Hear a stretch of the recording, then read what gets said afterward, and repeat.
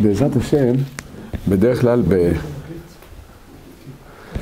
ב... לפני פסח, כבר כמה שנים, אנחנו נוהגים ללמוד את הפיוט חד גדיא. הפיוט חד גדיא, לכאורה, ידוע שליל הסדר זה לילה עם קדושה כל כך גדולה, שעל זה נאמר לילה כיום יאיר. ויש אה, פירוש על פי הסוד, מה זה לילה כיום יאיר. שקדושת ליל הסדר, הלילה היחידי בשנה שיש לו קדושה של יום. בספרי המקובלים מרבים לכתוב על, ה, על היסוד הזה.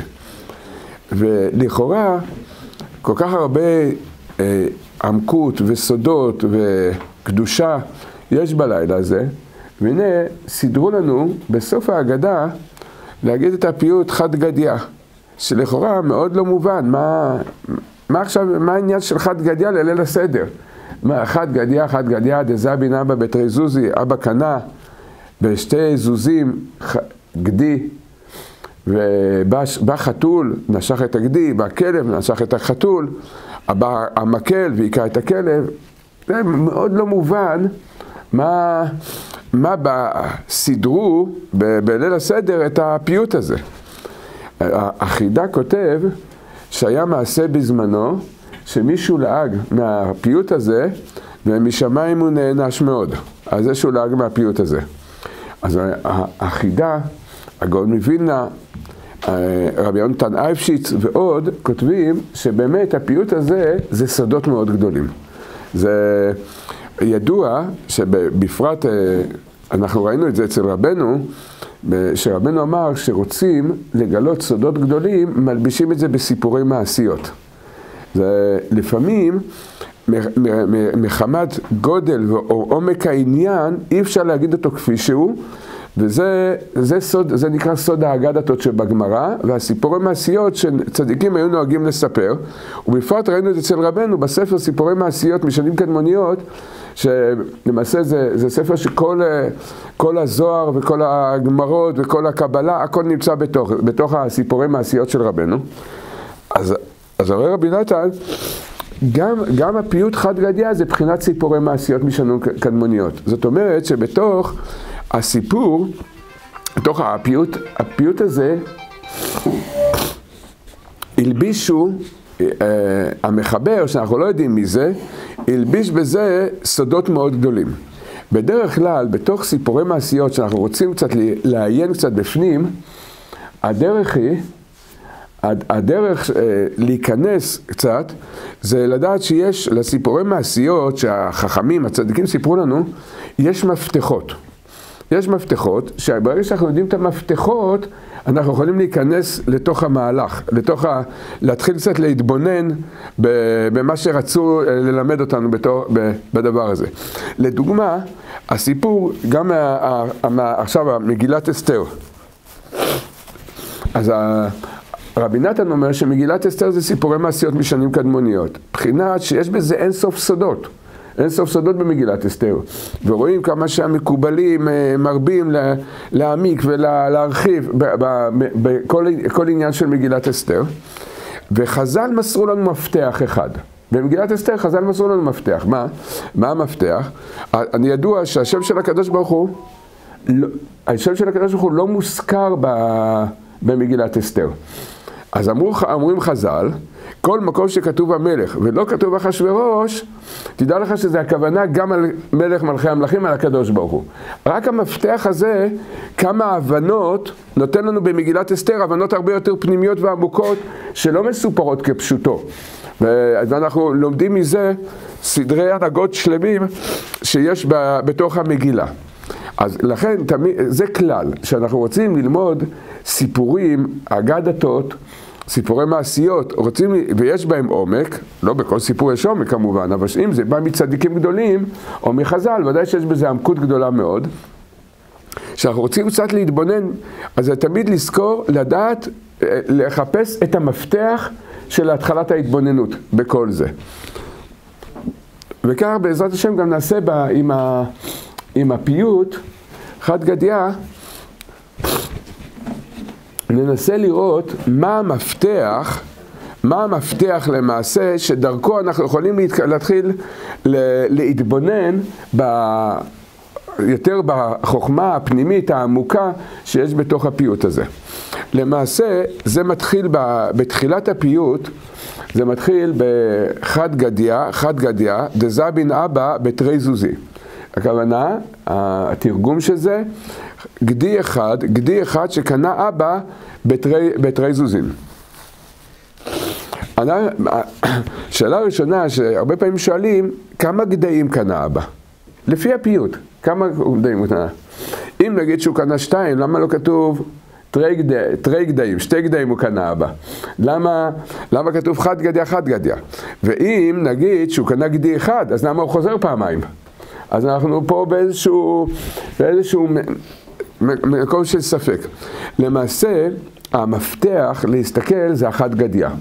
על מה מרמז העניין של הגדי, הגדיזם. קודם נביא קצת מבואות, מקורות, שנראה איך שהמושג הזה של החד גדיה הוא חוזר. אה, נראה איך, איך העניין של חד גדיה הזה מופיע כבר בתורה.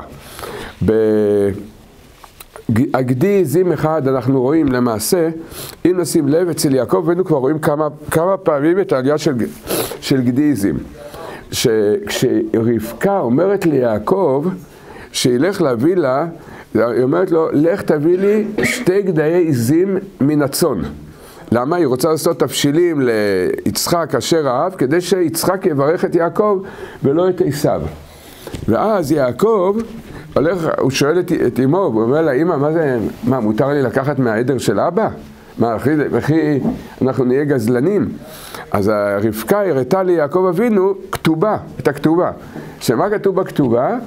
יצחק נתן ל... לרבקה בכתובה כתוב שכל יום נתן לה שתי גדיי עזים. אז זה קצת לא מלמד אותנו מה הבעל מחויב כלפי אשתו. לפחות להביא לה, נגיד שאנחנו לא עשירים כמו זה, לפחות גדי אחד לתת לה כל יום.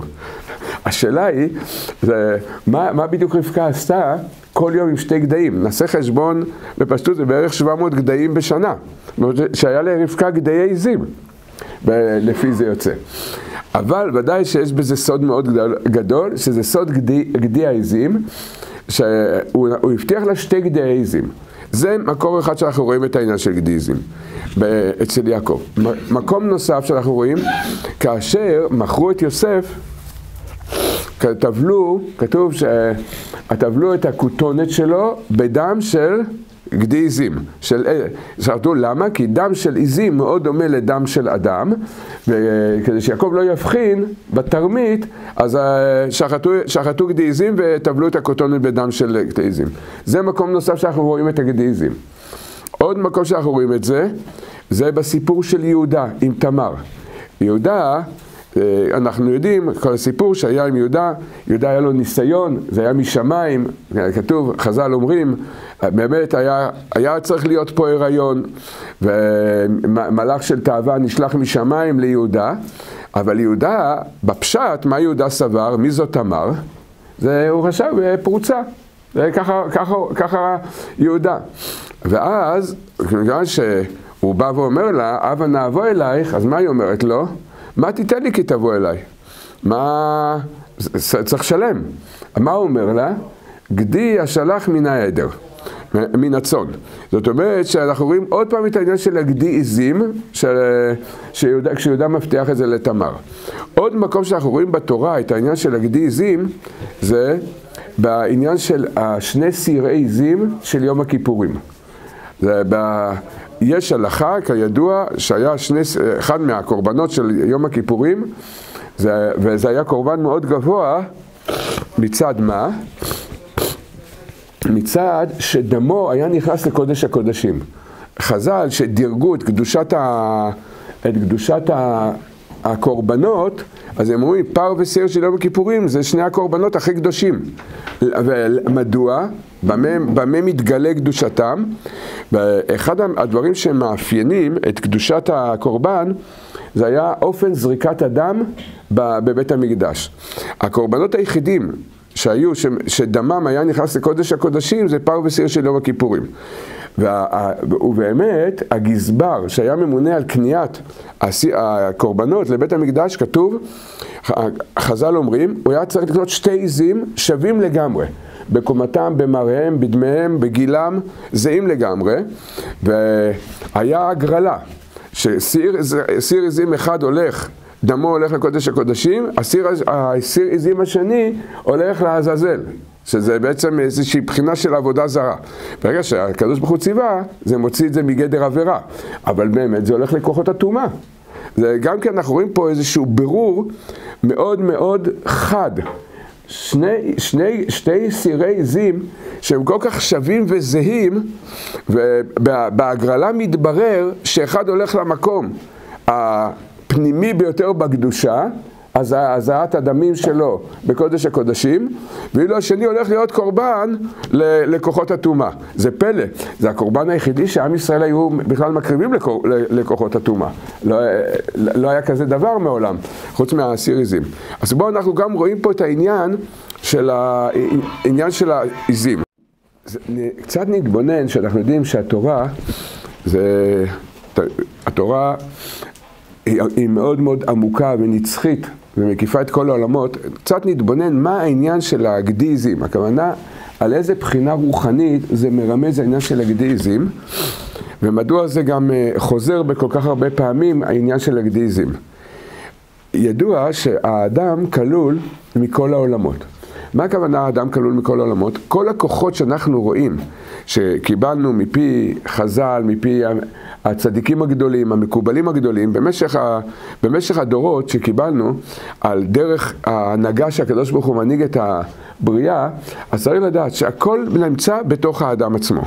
ובאמת, כשרוצים לדעת, שזה אחד מהדברים שתמיד האנושות, הבני אדם רצו לדעת, זה מבנה הנפש של האדם, בקבלה ובחסידות יש את המבנה נפש הכי מדויק.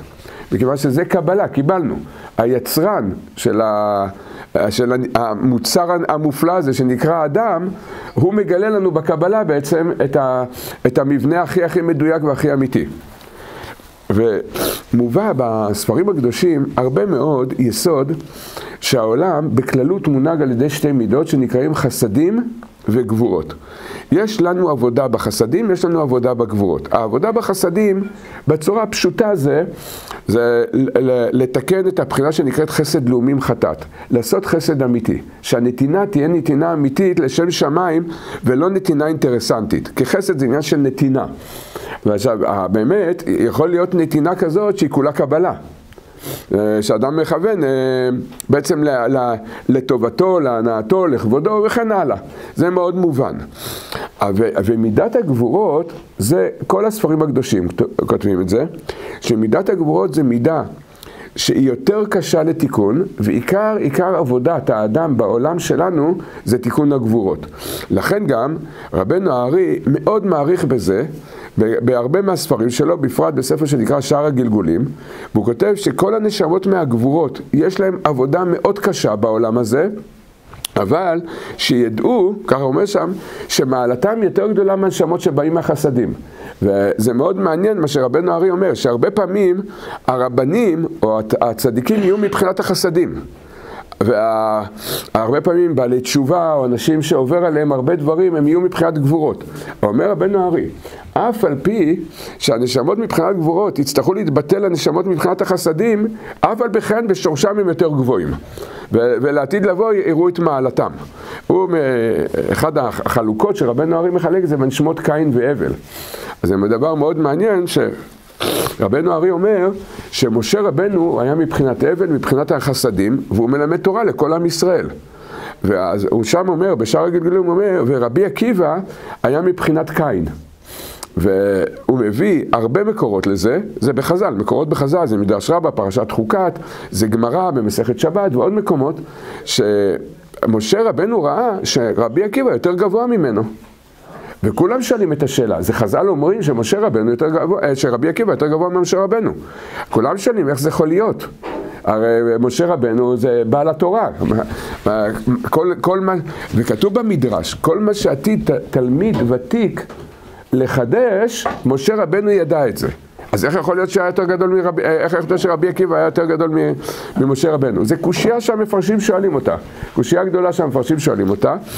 אז יש, יש כמה תשובות לדבר. אנחנו לא נכנסים לנושא, רק נגיד תשובה אחת בקצרה, שרבנו הארי מעריך ומביא גם על פי הסוד, מכיוון שמשה רבנו, שרבי עקיבא היה מצד הגבורות, לכן הוא יותר גבוה מרבי עקיבא, הוא מסביר את זה על פי הסוד, ומביא ראיה מחז"ל, אומר, אבל הוא מסיים את דבריו, אה, רבנו הארי, בשאר הגלגולים, אז רבנו הארי מסיים את, את, את דבריו בלשון הזאת. ומשה על ידי מעשיו העצומים השיג את כל ההשגות של רבי עקיבא וכל החכמים בכל הדורות. זאת אומרת, שאדרבה, באמת זה לימוד על מעלתו של משה רבנו, שמצד שורשו היה באמת פחות מרבי עקיבא. אבל מצד עבודתו, המסירות נפש שלו, של רבי עקיבא, של משה רבנו, הוא באמת השיג את ההשגות, וזה מתרס את כל המקומות שהם מקשים. יש עוד תירוצים לשאלה הזאת, אבל זה, זה תירוץ שכתוב בשאר הגלגולים, רבנו ארי כותב את התירוץ הזה. לכן, מידת הגבורות זה מידה שמאוד מאוד אה, קשה לתיקון. זה העבודה של, אה, זה העבודה, בדרך כלל, במה זה מתבטא, מידת הגבורות? בנפש. יש אורות של גבורות בכל העולמות, רוחניים מאוד, אבל איפה זה, איך זה מתבטא בנפש? בעיקר, בעיקר זה בכעסים, הקפדות, הרצון לשלוט. זה גאווה, כבוד, זה בחינה אחת. בחינה נוספת זה עניין של אש התאוות של העולם הזה. ככל שאדם הוא יותר מצד הגבורות, תמיד יהיה לו ניסיונות יותר קשים בבחינות האלה. או בתאוות, או בכעסים וההקפדות. כי תמיד העבודה של הגבורות זה העבודה הכי קשה. והזוהר אומר, שכל הבירור שיהיה עד ביאת משיח צדקנו זה, ב, זה בירור הגבורות. ובפרט הדור האחרון התברר מאוד בנושא הזה של הגבורות, לכן גם אנחנו רואים, זה אחת הסיבות למה יש כל כך הרבה מחלוקות בעם ישראל לפני, לפני הגאולה, כי יורד, מידת הגבורות יורד מאוד לעולם, וזה מאוד מעורר את האדם לא להסכים עם זולתו.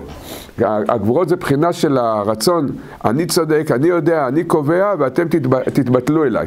זה אחת הבחינות של הגבורות. לעומת זה, מי שזוכה עכשיו לבטל את העניין של הגבורות ולהמתיק אותם, אז זוכה למעלה מאוד גדולה. אחד, ה, אחד הבחינות זה, זה לקיים את מה שרבנו אומר, ישמע בזיונו ידום וישתוק, שזה לא רק מדובר פה על העבודה של ישמע בזיונו ידום וישתוק, אלא כתוב, בעומק הדבר זה לא להקפיד על שום דבר, על אף אדם, על שום מאורע, על שום, על שום בחינה. ודאי שאין דבר יותר קשה מזה בעולם, לא להקפיד על שום דבר, ואם אדם הולך בדרך הזאת גם מנסים אותו, אז נותנים לו כל מיני ניסיונות. אז הדבר הכי קשה, הכי קשה זה, זה העניין של, זה ההמתקה של הגבורות. זה מבחינת העבודה. עוד מובא, הרבה בספרים הקדושים, שגם הקורבנות שהיו בבית המקדש גם רומזים על עניינים רוחניים מאוד גבוהים, כאשר עיקר הקורבנות, לא רק, אבל הרבה אנחנו רואים את הקורבן הזה, כבשים ועיזים. כבשים זה תיקון החסדים, עיזים זה תיקון הגבורות. ומי שפעם יצא לו לראות עדר של כבשים ועדר של עיזים, יודע שזה שתי דברים הכי רחוקים בעולם זה מזה. הכבשים, אין דבר יותר כנוע מהכבש. הכבש אף פעם לא מתרגז, מה שאומרים לו הוא עושה, זה... מישהו פעם אמר לי שזה נראה לו שהכבשים לקחו רטלין מגיל צעיר, הם הכי רגועים בעולם, שום דבר לא מרגיז אותם, שום דבר לא מעצבן אותם. לפני שנים ביקרתי אה, ידיד שלי, הוא היה רועה צאן, אז הוא בדיוק היה, הוא טיפל בעיזים. אמרתי לו, תגיד, איך אתה מחזיק מעמד? עיזים זה בעצם אחד מהמיני בריאה הכי היפראקטיביים שיש בבריאה. יש להם בעיות של קשב וריכוז מאוד חמורים.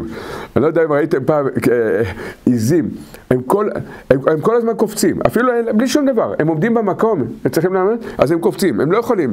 זה, כל הגבורות שם זה אש ב, ב, בתוכם, זה אש של גבורות. לכן עניין העיזים בשורש, העמוק שלו מרמז על בירור הגבורות. אה, על, על הבחינה של בירור הגבורות, זה העניין, כל ה, כמו שנראה בהמשך, כל הסודות שהזכירו, שמובא בתורה, בנביאים, בכתובים, בעניין של העזים, זה הכל הולך על, על הסוד של בירור מידת הגבורות. יש, בכללות, יש שתי בחינות בבירור הגבורות. יש בזה שתי בחינות. הכוונה שתי מדרגות בבירור הגבורות. בירור אחד זה, הבירור הראשון, נלך מל, מלמטה למעלה. הבירור הראשון של מידת הגבורות זה שאנחנו הופכים את כל כוחות הנפש שלנו, שהם הגבורות, בעיקר כוחות הנפש שמתבטאים בגבורות, אנחנו הופכים אותם לעבודה רוחנית לכבוד השם. זאת אומרת שאם אדם הוא, ב, הוא תקיף, אז הוא יהיה תקיף בקיום המצוות. אם האדם הוא כעסן, אז הוא הופך את הכעס למלחמה כנגד היצר הרע. אה, אם אדם יש לו אש של תאוות, אז uh, הוא הופך את זה לבחינת נפש, גרסה נפשי לת, לתאווה. בנפש, בחינת הנפש זה בחינת התאווה, שאדם הופך את הנפש ל... צמא לך נפשי, קמה לך בשרי, בזה הוא מתקן את מידת הגבורות, הוא מעלה את הגבורות מהעולם הזה, מההתחברות עם העולם הזה, הוא מעלה את זה למקום רוחני. זאת אומרת, הוא משתמש בזה לצד, לצד הקדושה. זה המדרגה הראשונה של תיקון הגבורות. לכן רואים הרבה פעמים, שבפרט בדור שלנו, שהדור שלנו רובו, רובו, אם לא כולו, כל מיני, רובו כמעט ככולו, זה בעלי תשובה, כי היום גם מי שנולד שומר תורה ומצוות הוא בעל תשובה, ופעם היה הבדל, היום כבר אין הבדל בזה.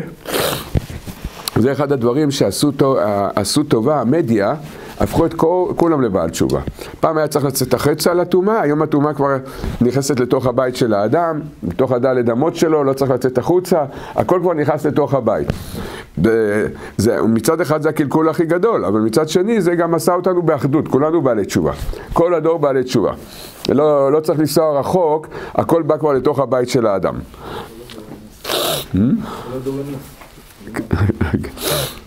זה, תראה, אנחנו נראה את הבחינה הזאת. אז אנחנו רואים שאחד הדברים, השנים הראשונות, הבחינה שמלווה את הבעל תשובה לאורך ימים ושנים, זה עבודה של לתקן את הגבורות. זאת אומרת, את המידות, את התאוות, שאדם היה מורגל בהם, לקחת את זה לעולם הזה, לק... לא, לא לבטל אותם, לקחת אותם לצד הקדושה. אה, אם אדם היה רגיל, זה מעשה שהיה, לרקוד הרבה בלילות במסיבות, אז עכשיו בסדר. אז עכשיו תלך לשדות, תלמד תורה, תתפלל בנץ, זה דברים שאוהבים היום בדור שלנו. זה, זה, זה הכוונה, אנחנו הופכים, אנחנו מעלים את הגבורות מגבורות נפולות לגבורות שבקדושה. פירוש דבר אנחנו משתמשים בזה לכבוד השם, בכוחות נפש האלה. זה נקרא מדרגה ראשונה של. אה, תיקון מידת הגבורות. אבל יש תיקון יותר עליון של מידת הגבורות, וזה העבודה של הביטול. מהי העבודה של הביטול? לכאורה היא אפילו סותרת, מבחינה מסוימת היא סותרת את המדרגה הראשונה. העבודה השנייה, שגם אם אדם הכניס את כל הכוחות הנפש שלו, כל הגבורות שלו, הכניס את זה בתוך הקדושה, ועכשיו כל, ה, כל מה שהוא משתמש בזה זה באמת לצד הקדושה. זה לא קורה ביום אחד, זה, זה עבודה של שנים, אבל באמת הוא כבר הגיע למצב הזה, שהוא משתמש הכל לצד הקדושה. עם כל זה, עדיין יכול להיות בתוכו לא יכול להיות, אלא ודאי יש בתוכו הרגשה דקה, לא משהו גס, הוא לא עכשיו, הוא לא יצא עם שלטים לרחובות והוא אמר, אה, תראו, אני כבר קידשתי את כל הגבורות שלי ו... אשרי הדור שאני חי בו. אלא בתוך הנפש שלנו יש בחינה שנקראת כוחי ועוצם ידי עשו לי את החיל הזה. זה מה שרבנו אומר בתורה של נ"ב, הנאור בלילה, שרבנו אומר, אחרי שאדם ביטל את כל התאוות וכל המידות, אז רבנו אומר בלשון הזאתי, וגם זה לוקח שנים, אז רבנו אומר בלשון הזאתי, ועדיין נשאר בו משהו. וצריך הרבה הרבה ללכת לביטול של המשהו. המשהו הזה, זה כבר, זה כמובן תלוי בשורש האדם, במדרגת הנפש שלו, אבל העבודה של כל הצדיקים זה היה כפי בחינת ביטול המשהו. זה כל העבודה של הצדיקים, זה הביטול של המשהו. הביטול של המשהו זה למעשה הנפרדות, זה נפרדות, זאת אומרת כמו שכתוב, לתאווה יבקש נפרד, שיש בתוך המציאות של האדם עוד מחטא אדם הראשון. בחטא אדם הראשון נולד בחינה של נפרדות. הנפרדות זו תחושה שזה יכול להיות מאוד בדקות בנפש של האדם. שאדם מרגיש, כוחי ועוצם ידי עשו לי את החיל הזה. מאוד, רבנו אומר, רבנו קורא לזה משהו. המשהו הזה, כל התיקון של העולם עומד על המשהו הזה, כי, אבל מאוד מאוד קשה לברר את המשהו הזה. הסיבה הראשונה שזה קשה לברר את זה, זה שזה מאוד נסתר בנפש, והרבה פעמים אתה בכלל לא מזהה את זה. מה, את הקיום של המציאות הזאת בתוכנו. דבר נוסף זה שכשזה מתגלה, אז יכול להתגלות בעוצמות מאוד גדולות. זה כמו, אה, מישהו פעם אמר, פצצת אטום מתקתקת בתוך האדם. זה רק ל... יכולים, אה, שזה מתעורר הדבר הזה, האדם יופתע בעצמו למה הוא יכול להגיע. בדרך כלל זה מתבטא, ב, זה בא, מתבטא בכעסים, בהקפדות או בתאוות מאוד גדולות, הבחינה הזאת. וזה יכול להיות אצל צדיק, אצל צדיק אמיתי, זה יכול להיות הבחינה הזאת. אחת העבודות של ה, על הבחינה הזאת, אחת העבודות לתקן את המשהו, בתורה נ"ב, אז רבנו אומר, זה העניין של הנאור בלילה, זה הרבה התבודדות. הרבה תפילה, הרבה התבודדות, אז משמיים עוזרים לאדם לברר את זה. זה, זה משקפים לאדם, מגלים לאדם את הנקודה הזאת בתוכו. אה, עוד, עוד דרך, עוד דרך זה, מה שרבנו אומר, ישמע ביזיונו ידום וישתוק, כשהכוונה זה לא רק לשתוק לביזיונות שאומרים, אלא יש אצל צדיקים, זה הרבה יותר עמוק. שלא יהיה הקפדה, אפילו לא כחוט השערה על שום מציאות ושום הנהגה ושום, ושום אה, דרך שהקדוש ברוך הוא מתנהג איתו. לקבל את הכל באהבה. אצל צדיקים גדולים זה בירור דק מאוד מאוד בתוך הנפש, שהם לא יקפידו על, על דברים. על, אה, כי הקפדה זה בחינה שבעצם בפנימיות זה אדם אומר לקדוש ברוך הוא, תשמע, אני אגיד לך את האמת, איך שאתה מנהיג את העולם, אני הייתי משנה קצת. בדרך כלל אתה בסדר, אבל יש דברים שצריך תיקון. העבודה הזאתי, זה, זה, זה הבחינה, זה הבחינה של זה, ו, ופה האדם צריך להיות מוכן לקבל את שיא הביזיונות של העולם, את שיא הביזיונות של העולם, ולקבל את זה באהבה ובשמחה. שאין דבר יותר קשה מזה. אה, הצדיקים תמיד שאפו בעצם לתקן את ה... כאשר ה... המקום הזה בקבלה זה נקרא, המקום שנקרא גבורות דעתיק, ככה זה נקרא. מה זה גבורות דעתיק? בעתיק, לית שמאלה בעתיק. עכשיו, פה, כשאנחנו אומרים, אם אין שמאל בעתיק, אנחנו יודעים, בכל הספרים הקדושים, גבורות זה בשמאל, החסדים בימין. אז אתה קורא למקום, אתה, אתה קורא לזה גבורות, ואתה אומר, לית שמאלה בעתיק. ואין שם שמאל. אז איפה זה נמצא?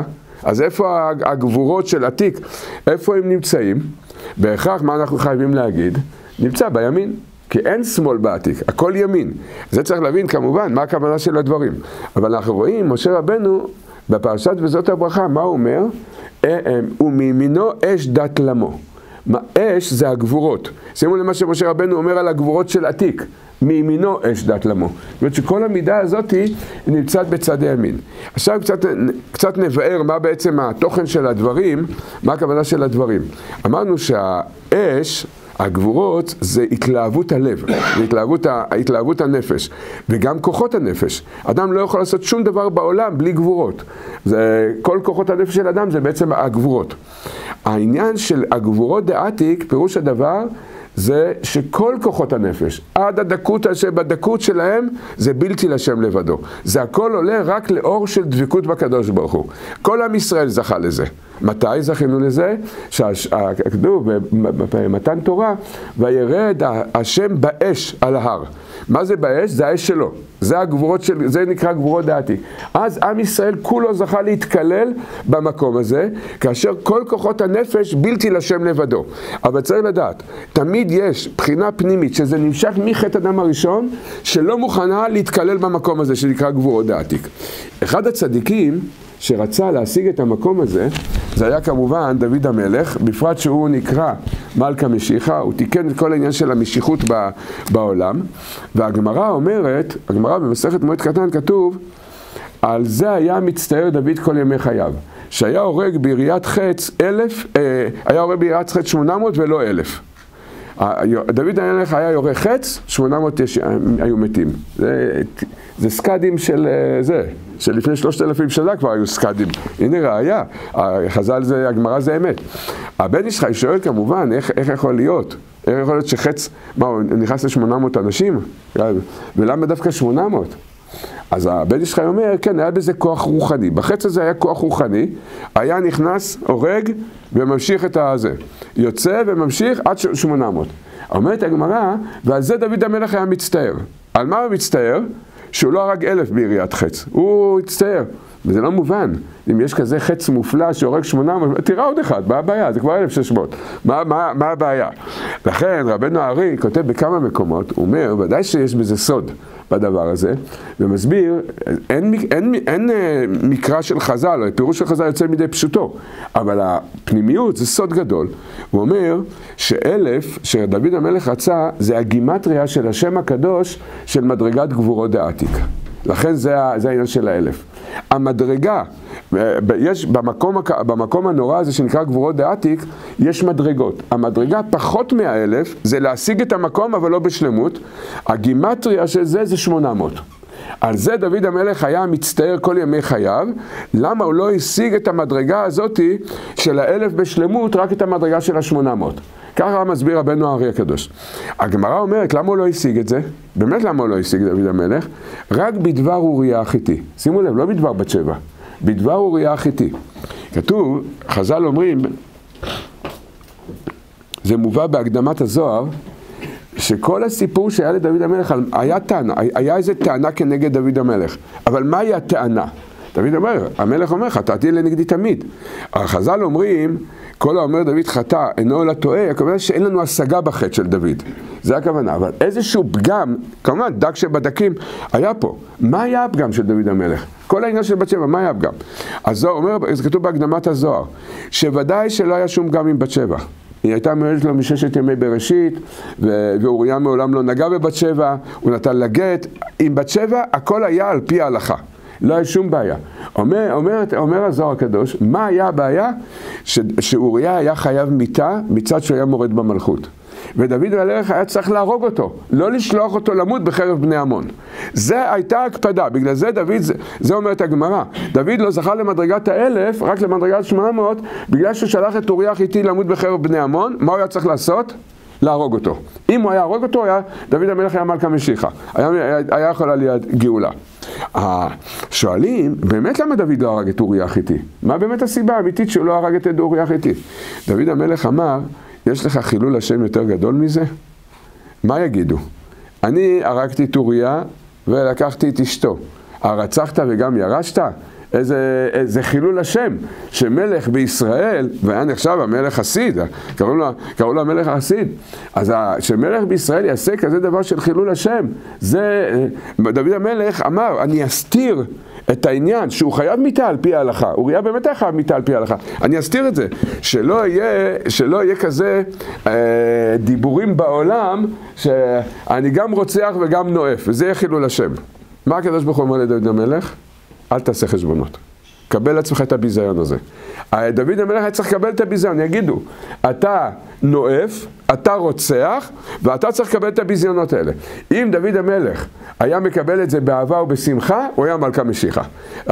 כל מה שהוא לא זכה לאלף, רק לשמונה מאות, כי לא יכל לקבל באהבה ובשמחה את הביזיון הזה. ובוודאי שצריך לדעת, לדוד המלך היה חשבונות בזה. זה לא... זה, דוד המלך סבר שהוא ככה צריך להתנהג. מן הסתם גם מן שמיים סובבו ככה. אז על כל פנים, על כל פנים, כל העניין של... של ה... זה, זה הבירור של מדרגת הגבורות העליונה יותר, זה הביטול השלם לקדוש ברוך הוא, זה נקרא תיקון המשהו בנפש שנמשך מחטא אדם הראשון. הדור האחרון צריך לברר את זה. זה...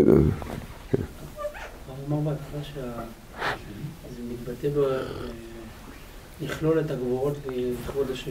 אבל אז נשאר משהו שזה הביטול, והרב אמר שזה יכול להתגלות אצל האדם בתאוות. המשהו הזה זה בתיאבון, אחרי שהוא כבר כלל את כל זה?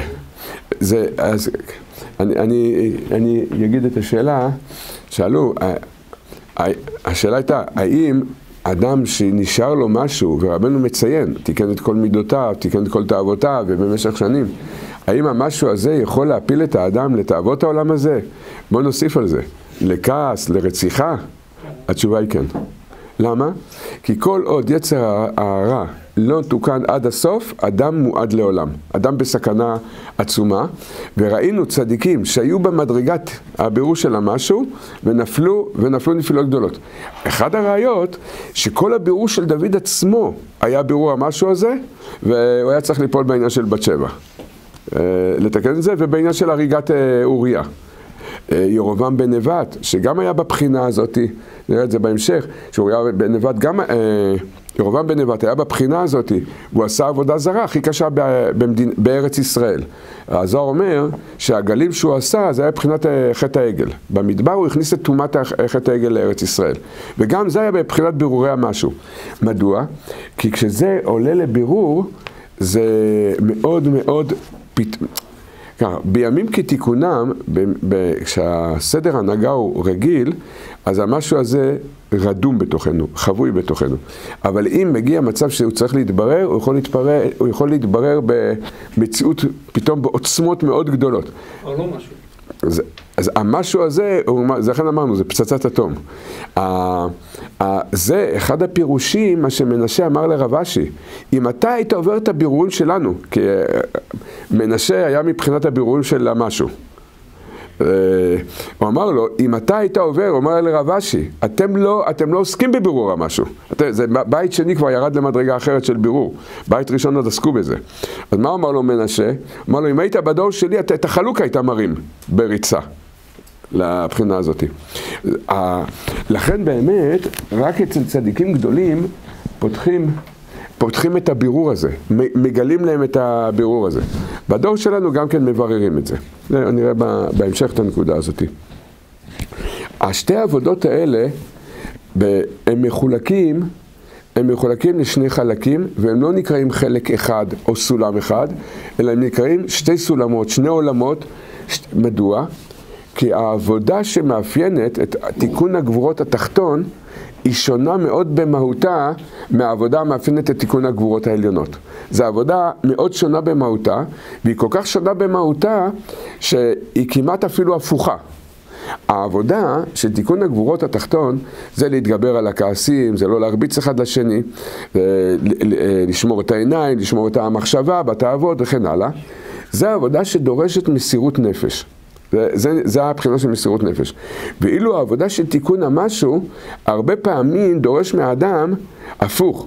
לבטל את כוחות, לבטל את התעוררויות הנפש שלו. פה זה לעורר את כוחות הנפש, להתגבר על היצרה. פה זה להסכים להנהגה של הקדוש ברוך הוא. בכללות זה נקרא, העבודה הראשונה של הגבורות זה עבודה של מסירות נפש, העבודה העליונה זה עבודה של ביטול והכנעה להנהגה של הקדוש ברוך הוא. זה מה שרבנו אומר, במעשה מבעל תפילה לא רצה הגיבור אלא הכנעה, הוא מדבר פה על ההנהגה העליונה. שאדם יסכים להנהגה של הקדוש ברוך הוא, ובמקום, במק...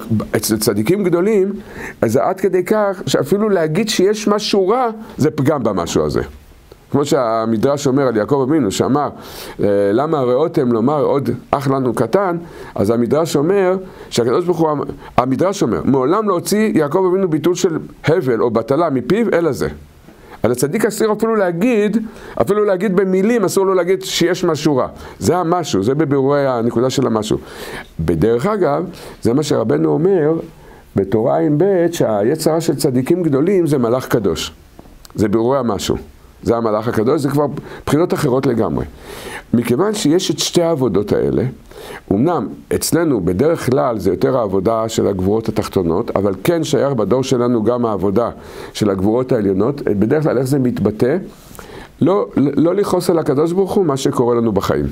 זה בדרך כלל לא, לא, לא להיכנס איתו למריבה, למחלוקת, זה להסכים עם ההנהגה של הקדוש ברוך הוא, שזה, אנחנו רואים שזו עבודה מאוד גדולה. מכיוון שיש שני מיני עבודות, יש כלל, יש כלל.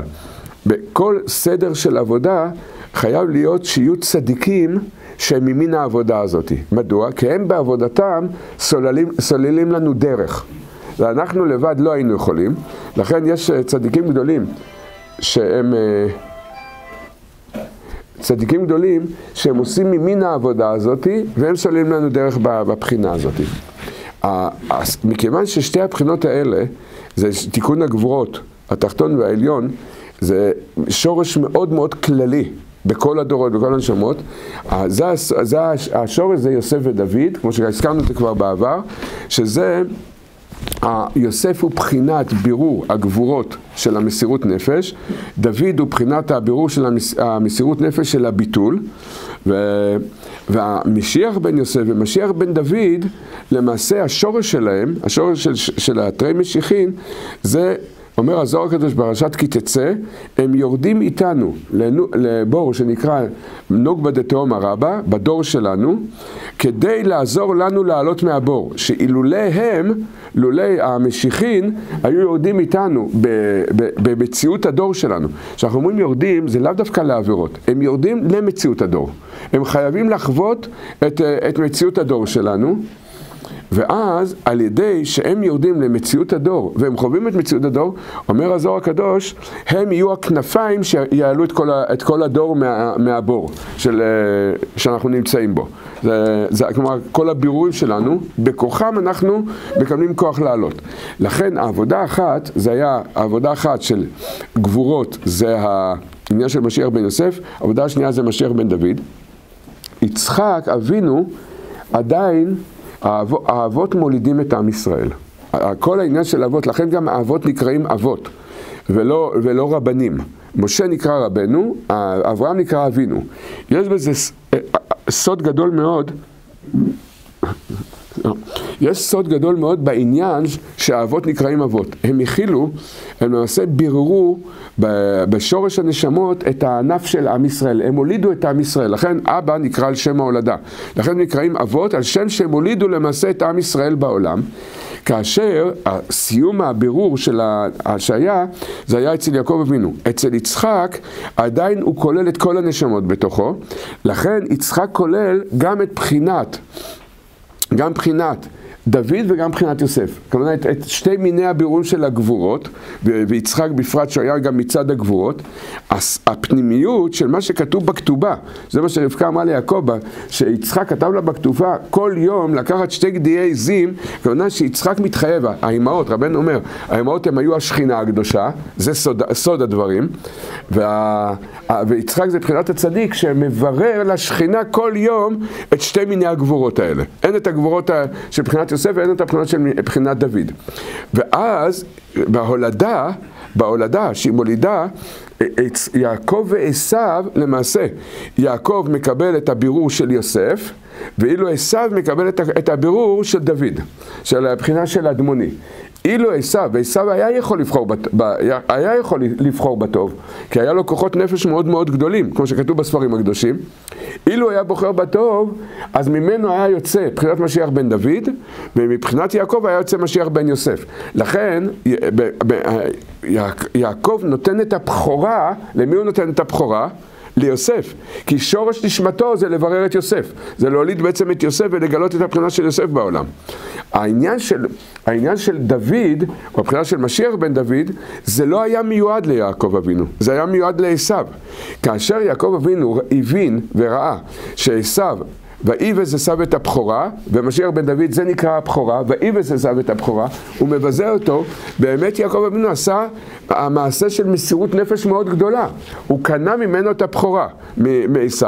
מה, מה המשמעות שהוא קנה את הבכורה? חושבים שהקנייה של הבכורה זה, זה איזשהו הסכם, אה, מי, מי יהיה, יעשה את הקורבנות? זה סדר תיקון שלם בעולמות, אה, הבחינה של אה, תיקון קניית הבכורה.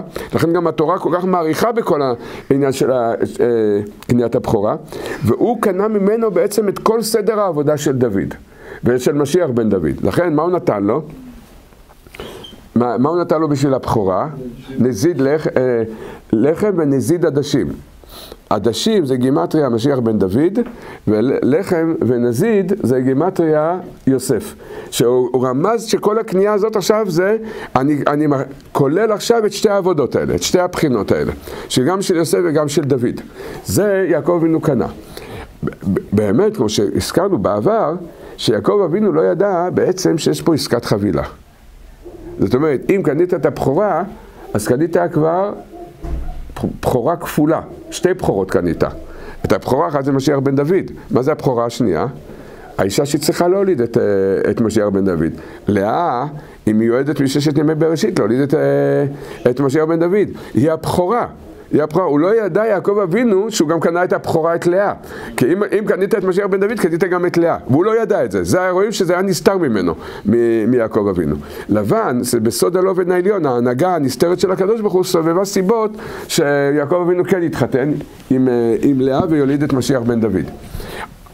לאחר מכן, גם, גם זה, אה, ויבוא יהודה אל תמר ויאמר לה, הבה נא ואבוא אלייך. עכשיו, אם נראה, רואים מפה עניינים של פנימיות וחיצוניות, לפעמים כמה הם יכולים להיות סותרים. מה יהודה חווה? איזה חוויה הוא חווה יהודה? תאווה, והוא לא, לא מצליח לעמוד בתאווה, הוא הולך לפרוצה. הוא, מנהל את השיחה של לקוח עם פרוצה. מה, היא אומרת לו, היא גם משחקת את התפקיד. מה תיתן לי כי תבוא אליי? גדי שלח מן הצאן. הרי אנחנו יודעים, מהמעשה מה, מה הזה היא התעברה. בשתי, מי זה, במי התעברה? פרץ וזרח. פרץ הוא שורש משיח בן דוד. ורבי צדוק מדייק, דיוק חזק מאוד במדרש, שהוא לא רק היה שורש נשמת משיח בן דוד, אלא היה, כבר, היה בו כבר נשמת משיח בן דוד. רק לא הייתה יכולה להתגלות בשלמות. אז, אבל פרץ זה הענף של משיח בן דוד. זה מה שאומר לה, גדי השלח, גדי השלח גימטרי המשיח, אני הולך לתת לך את המשיח. זה מה ש... מה תיתן לי? ו, וגם, הוא קיבל על עצמו יהודה בעצם בכל המימ... השיחה הזאת הוא קיבל על עצמו שהוא יברר את כל העניין של משיח בן דוד, את כל הבירורים של בחינת המשהו, וזה התגלה בעצם בענף הזה של פרץ על עשר דורות עד דוד המלך. אז זה הבחינה, של, זה הבחינה הזאת. עכשיו נלך, נגיע לפיוט. זה היה הקדמה בעצם לפיוט, אה, חד גדיה, חד גדיה, דזבין אבא בתרי זוזים.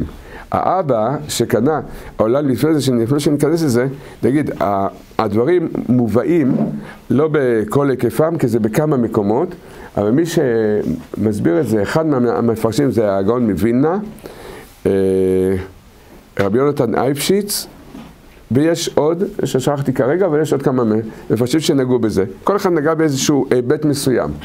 אז האבא שקנה את הגדי עזים בהיתרי זוזים זה יעקב אבינו. עכשיו, כמה הוא קנה? כמה, כמה, כמה גדיים הוא קנה? גדי עזים זה נשמת משיח, נשמת המשיחין.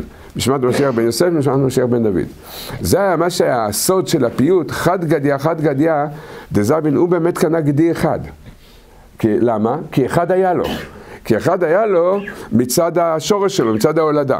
לכן כתוב שם בלשון הזאתי, חד גדיה, חד גדיה דזבין אבא, גדי אחד היה לו, גדי אחד הוא קנה. בתרי זוזים. עתה שונרה ואכלה לגדיה. זה אומר הגאון מווילנה, שמידתו של החתול, אומר את זה בפירוש המשניות לסדר זרעים, במסכת פאה, אומר הגאון מווילנה, שמידתו של החתול זה קנאה. הקנאה אכלה את הגדי, את הגדיזם. זה צריך להבין קצת מה, מה, מה הכוונה הקנאה אכלה את גדי העזים. אם נשים לב, על איפה כתוב בעיקר, לא רק, אבל בעיקר בתורה, על קינה. על יוסף מה כתוב? ויקנו בו אחיו. על מה כתוב על דוד? ויקנה בו שאול. אנחנו רואים שמידת הקינה התעוררה דייקה על יוסף ועל דוד. מדוע? מה הסיבה? בתיקוני הזוהר, בתיקון עין, שם הוא קצת נכנס לנקודה הזאתי ומסביר את זה, אבל יש בזה יסוד וכלל גדול מאוד. יש לנו ניסיון גדול מאוד לכלל נשמות ישראל, לקנות בנשמות שהם קשורים מבחינת המשיח. על המשיחים בעצמם ודאי שיש לנו ניסיון גדול מאוד של קנאה, אבל גם יש צדיקים שהם בחינת משיח, ותמיד יהיה לעם ישראל ניסיון לא לחלוק עליהם. ומה יהיה שורש המחלוקת? קנאה. שורש המחלוקת זה קנאה. אז יצדיקו את זה בהרבה דברים אחרים. ויקנו בו אחיו האחים היו קדושים, קדושי עליון, זה השבטים, זה שורשי נשמות ישראל. זה צריך לדעת, השבטים זה, היו במדרגה רוחנית מאוד מאוד גבוהה, ואף על פי כן התורה מעידה ויקנו בו אחיו. כל המכירה, וכשרצו להרוג אותו, בפנימיות, בנגיעה הפנימית הייתה בעצם מצד נקודת הקנאה. הזוהר שם מסביר קצת סוד, סודות בדברים האלה. מדוע, מאיפה משתלשלת מידת הקנאה? אחד הדברים זה, בפשטות, פירוש על פי הפשט, מקנאים בנשמה הזאת שהיא כל כך קרובה לקדוש ברוך הוא. כי באמת כל השאיפה של כל הבריאה, בפרט של עם ישראל, יותר מהגויים, זה להתקרב לקדוש ברוך הוא, להרגיש קרבת השם. המש... הנשמות שהן מבחינת משיחין, בפרט המשיחין עצמם, תמיד מאוד קרובים לקדוש ברוך הוא. לכן זה מעורר קנאה. זה, זה, זה הפירוש על פי הפשט. הסוד של הדברים, כתוב בתיקוני הזוהר, שזה נמשך מקנאת המלאכים. אפילו המלאכים מקנאים בנשמה הזאת. זה, כי הם רואים את גודל מעלתה, ואז הם, הם, אה, זה קנאה. עכשיו, הקנאה באמת, בשורש היא באה ממקום לכאורה חיובי. מה החיוביות שבזה? רוצים להיות קרובים לקדוש ברוך הוא. אבל הניסיון שלנו זה, זה להתבטל לצדיקים האלה, כדי שהם, בזכות ההתבטלות אליהם, הם באמת יביאו אותנו למדרגתם. זה לא שהם אה, זה, הם יהיו תמיד קרובים לשם ואנחנו לא. הניסיון שלנו, אם נתבטל אליהם, אומר הזוהר הקדוש, אז אנחנו נזכה להגיע באמת לקרבה של המשיחים בעצמם. כי כל יהודי בסופו של דבר יזכה לזה. זה, זה הבריאה. בשביל זה הקדוש ברוך הוא ברא את הבריאה. שכל יהודי יהיה לו צינור פרטי מיוחד מחובר ומקושר עם הקדוש ברוך הוא. אבל כרגע בעולם הזה, שזה עולם העבודה, יש ניסיון והסתרה של לקנות בצדיקים האלה, ואנחנו צריכים, אנחנו צריכים להיזהר מאוד, על כל פנים לדעת, לדעת שקודם כל כמה שפחות מחלוקות. אם אה, זה, אין איזה מצווה מדאורייתא ללכת לראות במישהו, אז לא לדבר על אף אחד. לא, לא להיכנס למחלוקות. זה, כל כך הרבה מחלוקות ומדברים. מה אכפת לך אם את המצווה הזאת לא תקיים? אז, אז, אה, אז יהיה חסר לך איזה מצווה, אולי תבוא בגלגול כדי לקיים אותה. כדאי, כדאי, יש רווח גדול מאוד לא לקיים את המצווה הזאת מדאורייתא, אה, לדבר על מישהו אה, לשון הרע או בהקפדות או במחלוקות. כדאי, כדאי מאוד לקיים את המצווה, לוותר על המצווה הזאת, מצווה מדאורייתא לדבר על מישהו ולחלוק על מישהו. אבל בעומק הדבר צריך לדעת שיש לנו ניסיון, יש לנו ניסיון מאוד גדול. ראיתי שמובא שאחת הסיבות שהדור הזה כל כך ירד והתרסק, זה בא מצד פורים. הרב אמר, מה זה פורים? זה הכל עניין של סוד של פורים. מה זה פורים? אמר, פורים זה פירורים. עשו את הדור שלנו פירורים פירורים, ואחר כך מתחילים לגבל אותו מחדש. אחר לקחו את האדם, עשו אותו עפר, עכשיו מתחילים ליצור צורות מחדש. אז, אז פעם, פעם הרב אמר, למה? כי הדור שלנו חולקים כל כך גדולים על הצדיק, שהיו חייבים אותה, להביא אותנו למצב הבראשיתי. וזה להיות פירורים, ואז אנחנו כבר רואים שאנחנו כלום. כשאדם הוא בבחינת פירורים, הוא רואה שהוא כלום, אין, מה, אין, על, מה, על מי הוא יכול לחלוק? זה, אין לו אפילו שכל לחלוק על, על אף אחד, ואז הוא בירר את הנקודה הזאת לא לחלוק על אף אחד, מתחיל להתגבל צורה חדשה. זה היה הבחינה, כי עפרת ואל עפרת שוב. העניין של עפר זה העניין של הפירורים, לחזור למצב הבראשיתי. אז, אבל צריך לדעת שכל אחד מאיתנו, אילו היינו נולדים בקדושה, במדרגות רוחניות גבוהות, היינו הצדיקים הכי גדולים בכל ההיסטוריה, אבל, והוא רחום מכפר עוון מי שהיה נקלע בדרכנו. זה, זה, זה בחר, בחרבה וקטלה, היינו, היינו זה, בסכין החריף היינו קוטלים את כולם סביבנו, מההקפדות, ו, וזה הכל היה לשם שמיים, לשם ייחוד קודשי בריך הוא ושכין תאר, אני משמיט ומבאר את הרע מישראל. ככה היינו שם. אז ה, זה, זה, זה מידת הקינה. אז זה מה, ש, זה מה שאומר בעל הפיוט, הוא אומר דבר נורא מה, והגלויות, הכל נמשך מהקינה. זה, אה, אנחנו רואים את זה בפועל, בהלכה למעשה, זה ב, בירידת עם ישראל למצרים, בפשט, בצורה הפש, בפשט, למה עם ישראל ירד למצרים? כי מכרו את יוסף למצרים, והיו צריכים לרדת אחריו למצרים. ואנחנו רואים איך בגלל קנאת האחים ביוסף, זה הם, אה, השתלשל זה שעם ישראל ירד, ירד למצרים. אף על פי שכתוב בספרים הקדושים שבנשמות ישראל היה איזשהו חסרון בפגם מחטא אדם הראשון שהיה חיוב של, של מצרים, אבל אילו האחים היו זוכים להתגבר על, ה, על, ה, על הקנאה, הם היו מתקנים את, את, את, את צורך גלות מצרים. אז הקנאה מתקנת את צורך, את תיקון הקנאה מתקן את צורך הגלות. כמו שאמרו את זה בכלל, כמו שמובא בספרים גם, שאם שאול לא היה רודף אחרי דוד, והיה מתבטל, אז שאול היה משיח בן יוסף ודוד היה משיח בן דוד, והיו יכולים להביא את הגאולה. קין קינא והוא יצא לגלות. מה?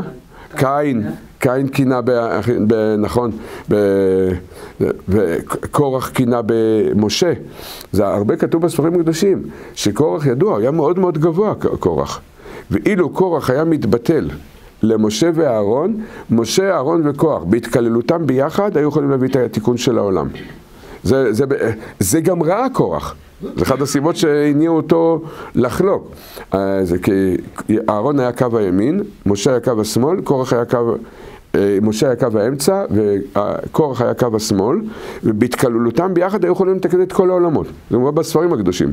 אז שוב פעם העניין של הקינה כמה היא מונעת את התיקון. אנחנו בדרך כלל לא עוסקים בתיקון העולמות אנחנו עוסקים, אה, רוצים לעסוק בתיקון עצמנו על כל מיני לראות לעבוד על הנקודה הזאת.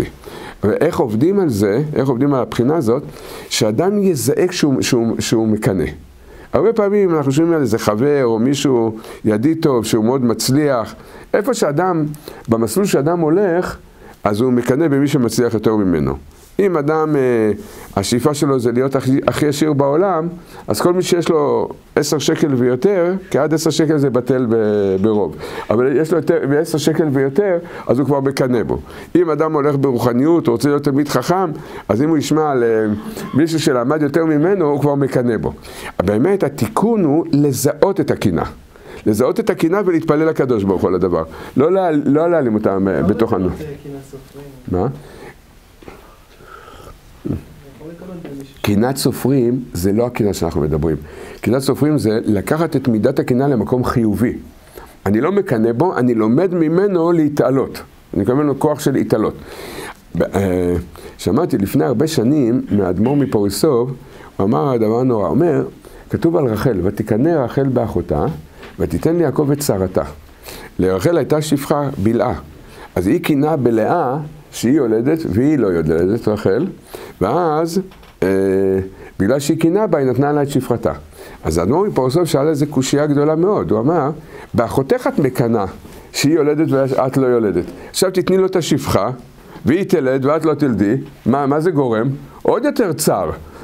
לא רק אחותך, שהיא לכאורה במדרגתך, אפילו השפחה שלך תלד ואת לא תלדי. זה רק, רק מגביר את הצער. אז הוא הקשה לזה. אז מה, מה, מה היא תיקנה בזה מה היא תיקנה בזה שהיא נתנה את לאה, את בלהה ליעקב אבינו. אז האדמו"ר אמר דבר נורא מאוד. אחר כך ראיתי שיש כיוון כזה במפרשים. מה דבר נורא? אומר, רחל זיהתה בתוכה את הקינה. היא הרגישה שהיא מקנאה בלאה. ואז היא הבינה שיש לה מידת קינה בתוכה. אז מה היא עשתה? הגבירה מאוד את מידת הקנאה בתוכה. היא נתנה את בלעה ליעקב כדי שיתעורר, שתתעורר בתוכה מידת הקנאה עוד יותר. כדי שהיא תקנא עוד יותר ב... ב, ב, במציאות הזאת של הילדים. ורחל אמרה, ואני אעשה מסירות נפש לעבוד על מידת הקנאה, אני אעורר את זה בתוכי, אני אזהה את זה בתוכי, ואני אעשה מסירות נפש לעבוד על המידה הזאת, ו- ולעבוד על המידות זה נגד הטבע, והקדוש ברוך הוא עושה לי ניסים נגד הטבע. אז האדמו"ר אמר שבזכות זה היא ילדה את, את יוסף, בזכות העבודה הזאת. מה? וזה קשור, וזה, בשורש זה קהילה בין שתי משיחים, נקודה יפה מאוד, זה נכון, כי בעצם רחל יולדת את יוסף ו... ו... לאה את אה, יהודה. זה מאוד מעניין שקנאת רחל, כתוב בתורה שהתעוררה רחל הולדת יהודה. זה רמז פה בשורש אבות מאוד שזה עניין של, עניין של המשיחים. אז העניין של החתול שאכל את הגדי, שזה עניין הקנאה, זה לדעת שלנו יש סדר עבודה בדבר הזה. זה בכל המידות כך. שטוב שאדם יזהה את המידות מתעוררות בתוך הנפש שלו, לפני שהוא, אם זה כעס, שלא יבין שהוא כועס אחרי שהוא כבר אה, פירק את השני למק... במכות. יש, יש כאחד, אה, זה, הוא יודע, אגרוף תליידי. אז הוא אומר, מתי הוא מזהה שהוא, שהוא כועס? אחרי שהוא אשפז מישהו לחודשיים בבית חולים, ואז הוא הבין בעצם שזה מידת הכעס שלטה עליו. אז, אז זה, זה מאוד מאוד טוב שאדם מזהה את התעוררות המידות הלא טובות בתוכו, עוד שהן מתעוררות רק בתוך הנפש שלו. ומיד לעשות על זה תשובה. זה למעשה העבודה של הצדיקים, זה היה כמו בלשים. האדמו"ר מפוריסוב אמר לי פעם, שעבודת הצדיקים זה להיות כמו בלש. לזהות בתוך הנפש שלהם את המידות הלא טובות, עוד שהם מתעוררים אה, בדקות, ומיד לעשות על זה תשובה. זה, לכן זה, זה, זה התיקון, זה נקרא העבודה הפנימית, התיקון הפנימי של, ה, של הדברים. אז זה, זה עתה שונרא ואכל אה, לגדיה. לאחר מכן כתוב, ועתה כלבה ואכל לשונרא. מה זה העניין של הכלבה? העניין של הכלבה זה, זה קליפה מאוד מאוד גדולה, שהזוהר הקדוש אומר, אין לך שורש כל כוחות הטומאה, זה נקרא קליפת הכלב. קליפת הכלב זה, זה הפנימיות של ישמעאל ועשו. כי ישמעאל זה חמור, רמז, בחמור, ואילו עשו זה שור, זה כתוב בזוהר הקדוש, והפנימיות של חמור זה מ"ו, באותיות הכוונה, זה מ"ו, ושל עשו זה שור, זה ו', זה מ"ו וו', ביחד זה 52, גימטריה כלב. אז אומר, מכאן הזוהר אומר רמז שקליפת הכלב זה נקרא עמלק בעצמו, קליפת עמלק בעצמו, הוא פנימיות של כל כוחות הטומאה בבריאה. ככה אומר הזוהר הקדוש. ב, ידוע שבמצרים, על הדגל של מצרים היה מצויר כלב, על העבודה האחרונה, העבודה זרה האחרונה שהיה למצרים, שהם היו חכמים מאוד מאוד גדולים ב... בכוחות הטומאה, בעבודת כוכבים ומזלות. העבודה האחרונה שנשארה במצרים זה היה בעל צפון, ואומרים חז"ל, על, על, בבעל צפון היה מצויר, או לא בדיוק מצויר, אבל היה דמות של כלב על העבודה זרה שנקראת בעל צפון. והיה להם כוונות גדולות מאוד בזה. למעשה, העניין של הכלב, כמובן, אנחנו אומרים, אנחנו לא מתעסקים עם זה, לא יודעים את זה, גם לא להתחיל לשנוא כלבים בגלל זה, זה, זה לא, לא בהכרח זה קשור לדבר הזה. מה? מה? רק העניין של הכלב זה, הפעולה שלו זה כל הכישוף והטומאה עובדים דרך הקליפה הזאת, לכן כלב זה נקרא כולו לב. מה זה נקרא כולו לב?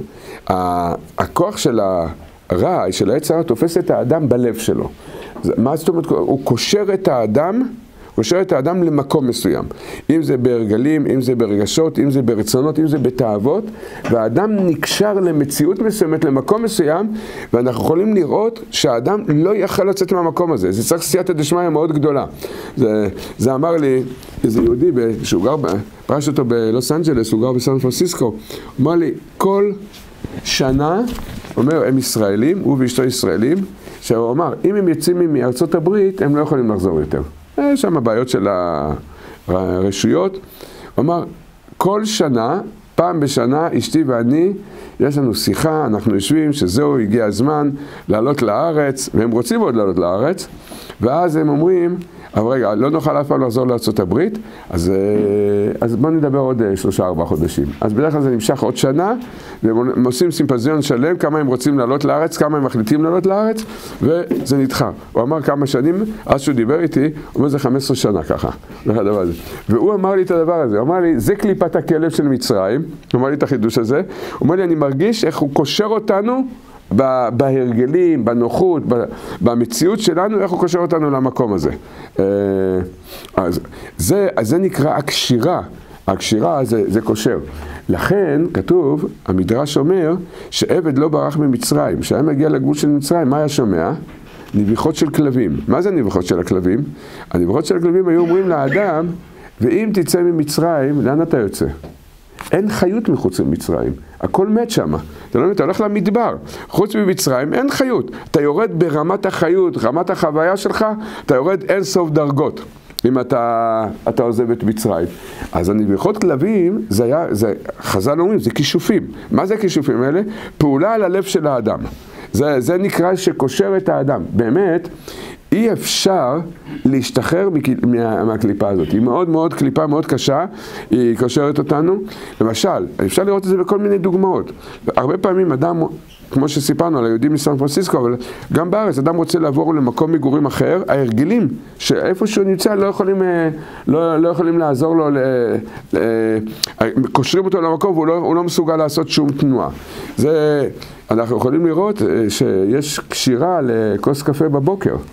יש הרבה אנשים שאחד הדברים הכי קשים שלהם בתענית זה רק כמה לגימות מהקפה בבוקר, זה הכל. תן לי את הקפה של הבוקר, אני יכול אחר כך לטענות שלושה ימים, אבל כל בוקר תן לי את, את כמה לגימות קפה.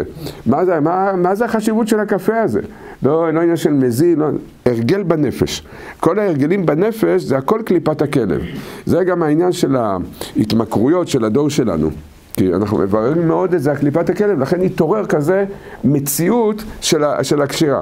אמרתי, על דרך האפשר, לא ראיתי שזה כתוב, יכול להיות שאנחנו כנגד זה קושרים כלבים. לכן רואים הרבה זה, שקושרים כלבים. ו... אני הולך בתל אביב, אני רואה שכולם מטיילים עם כלבים שם, בתל אביב. לא יודע אם זה קשור לזה, אבל אולי. לא רוצה להגיד שהוא דבר לשון הרע על תל אביב, לתל אביב זה מרכז הקדושה של הבריאה. זה, כתוב, כתוב, חללה של גיהנום עתיד להיות מרכז הגן עדן. אז כנראה שחללה של תל אביב עתיד להיות הגילויים הכי גדולים בבריאה. אז זה קליפת הכלב. כתוב בפיוט, את החוטרה ויקה לכלבה. החוטרה שהיכה לכלבה זה המטה עוז של הצדיק, זה בפשטות, מצרים זה היה קליפת הכלב, ואנחנו רואים שאיך משה היכה את המצרים על ידי המטה שבידו, כל המכות, כל, כל יציאת מצרים, קריעת ים סוף, הכל על ידי, אנחנו רואים בכוח המטה. המטה זה נקרא רבנו ארי כותב את זה בספר שנקרא עץ חיים, אוצרות חיים. אז הוא אומר שהמטה זה סוד השתלשלות של גבורות עליונות מאוד, שהן משתלשלות, צריך להיות צדיק בבחינת משה, שיהיה לו את ה... את ההכנה, כלי, הכלי שהוא יוכל להמשיך כזה, כאלה גבורות, ובכוח הגבורות האלה הוא יכול להכות את הכלב. זה התחות רביקה לכלבה. מה זאת אומרת, מה, מה הכוונה להכות את הכלב? להפחיד ולבטל את קליפת הכלב מעלינו. הצדיק, הכלב לא מעז להתקרב לצדיק, הוא מפחד מה... הקליפה הזאת מפחדת מהצדיקים האמיתיים. אבל עלינו, הקליפה כן השתלטה עלינו. ואז אנחנו בעצם כל אחד במקום שלו, לפי הבחינה שלו, נמצא בכולנו. אז, אז עתה חוטרא ויקרא לכלבה זה נקרא מטה העוז של הצדיק. הוא מכה את הקליפה לא בשביל עצמו. הוא משחרר את קליפת הכלב מעל כולנו. לכן זה הגודל הכרת הטוב שלנו צריכה להיות לצדיקים, כי אנחנו לא היינו יכולים בשום פנים ואופן להשתחרר מההתמכרויות שלנו. זה צריך לדעת, בדור שלנו זה דור שכולו מכור. זה רק, זה שאלה למה, ובאיזה דרגה, באיזה אופן, אבל ה...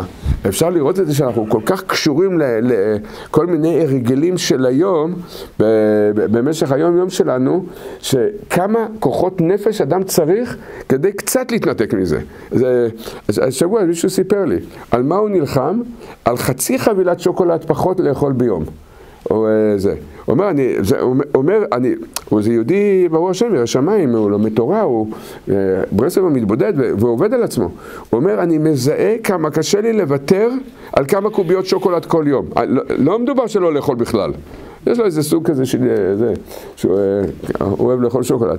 אז הוא אמר לי, אני, כמה קוביות להפחית במשך היום? הוא אומר, איזה מלחמה נפשית יש לי בנקודה הזאת. זה הנקודה של, של העניין של הקליפת הכלב. החוטרה, שזה מטה, המטה עוז של הצדיק, כמו שרבנו אומר גם בתורה כ"א, זה המטה עוז של הצדיק זה, הוא מכה את הקליפה וצריך לדעת, אנחנו צריכים להיות אסירי, אסירי תודה והכרת הטוב לצדיקים שקיבלו על עצמם איסורים נוראים כדי לבטל מעלינו את הקליפה. אחרת אנחנו לא היינו יכולים בשום פנים ואופן. הדור שלנו, מה שהוא התחייב בירידה ובתיקון, לא היה יכול בשום פנים ואופן לוותר על שום התמכרות, שום, שום הרגל. היינו שם, נהפוך הוא, היינו אה, עוד ועוד נמצאים בתוך המקום הזה, ומה שאנחנו מקבלים כוח להילחם, להתמודד, ואנחנו ברוך השם גם לפעמים מרגישים שמשחררים אותנו קצת, ודאי שזה העבודה שלנו, יש לכל אדם עבודה בזה, אבל ההתחלה, הפתח, זה על ידי העבודה של הצדיק. זה, זה מה שמשה הגיע לתוך הגלות של מצרים, זה הצדיק יורד לתוך הגלויות שלנו, ובמטה עוז שלו משחרר אותנו מבחינת קליפת הכלב.